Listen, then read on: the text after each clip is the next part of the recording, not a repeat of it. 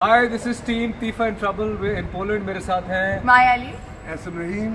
जैन और हम लोग विश करना चाहते हैं अपनी टीम को कल के मैच के लिए। So all the very best team Pakistan और ये कहना चाहते हैं कि तुम चाहे जीतो या हारो हम तुम्हारे साथ हैं। और सरफराज विक्ट्री सरफराज अगर जीत गए तो स्पीच चाहे अंग्रेज़ी में दो पश्तो में दो पंजाबी में दो।